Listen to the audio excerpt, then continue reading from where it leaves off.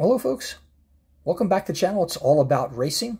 My name is Mark, and today we're going to take a look at a Spark 143 scale Porsche 911 GT3R, that of the number 33 car of Falken Motorsports, which competed in the 24 Hours of Nürburgring in 2021. This car is a sealed resin model. It comes attached to this black painted wooden base and is adorned with an acrylic jewel box and generally, these cars' boxes reflect the race that that particular car and livery participated in, this one being the 24 hours of the Nürburgring. Now, the sides of the box are open so you can observe the front as well as the rear. The back of the box shows the country of Germany, along with the national colors, and the 24 hours of the Nürburgring.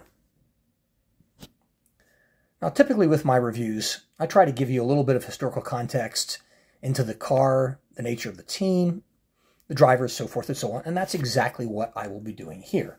Now, the Porsche 911 GT3R was introduced in May of 2018 and was available for customer teams such as Falken Motorsports in 2019. It featured a 4.4 liter flat six boxer rear mounted engine. God, I'm getting stuck on this, which produced about 543 horsepower. Now, the car featured a lot of improvements over the previous one including the most important one, particularly for the driver's air conditioning, which were, which were rare in most of these cars at that time. Now, the sponsor of the team was the Falken Tire Company. This is a Japanese tire producer which first launched in Japan in 1983 and 1988 in North America. Now, Falken Motorsports started competing in the Nürburgring in 1999 and achieved its first podium in 2015. In 2017, the team built a second car, not this one, it was a BMW M6 GT3. It wasn't until 2020 that they switched back to Porsche, and the number 33 car that you see right here was born, so to speak. It finished the 2021 Nürburgring in ninth place, and its sister car, the first car, finished in fourth. Now, being a Spark car, this model is absolutely amazingly gorgeous. The blue and green livery that Falken is famous for are, you know, I just think uh, are just amazing looking. I love it.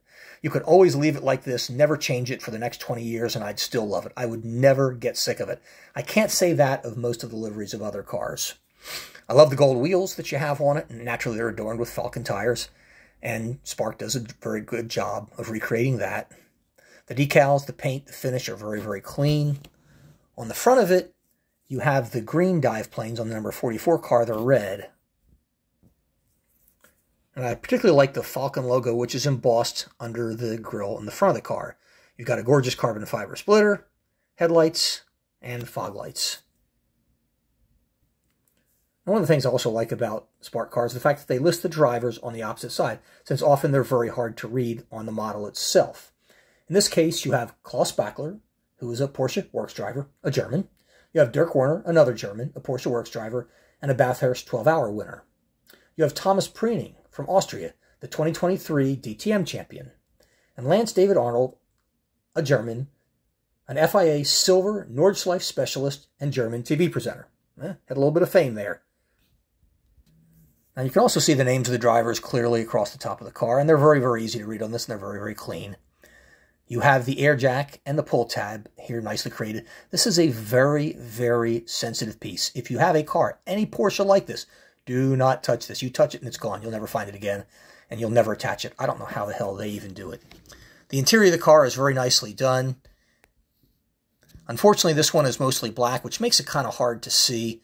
When the framework and all the roll bars and the cage are all black, it's very, very hard to see. But you can see the net. You can see the... Uh, the steering column, you can see some of the hoses uh, from the air conditioners on there. They did a really nice job with all the areas on the top of the car, which we'll look a little bit closer in just a second. Back of the car looks like this, and as I mentioned, this is a limited edition model. This was number 149 out of just 300 built. Folks, it's always nice to get a limited edition model anytime you buy a model car. And typically, most of the Spark cars, if they're not Le Mans 24 entries, are limited edition cars and they usually reflect you know the track that they, they raced in. The back of it's beautiful in blue. You got that massive rear wing that says Falken on the top of it. If you take a look in here, you can see some of the framework. Now remember, this is a rear engine car, so the engine is is uh, basically disguised beneath the, the engine cover, which you actually have right here, so you can't see it. If you take a look at the car from the top down, you see Falken on the big wide hips on this thing. Remus number 33. I love how the uh, how the top of the car looks with the number 33 and you have the livery uh, adorning it.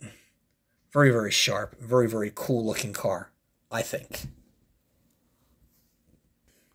So, folks, that wraps up this video. Hope you've enjoyed it. What do you think of this car? Let me know in the comments section. And if you really enjoyed this video, please give me a thumbs up. And if you're not a subscriber, please do. I release videos virtually every other day and with new cars at least once a week. And this is actually a new car to me. Thanks for watching. Take care.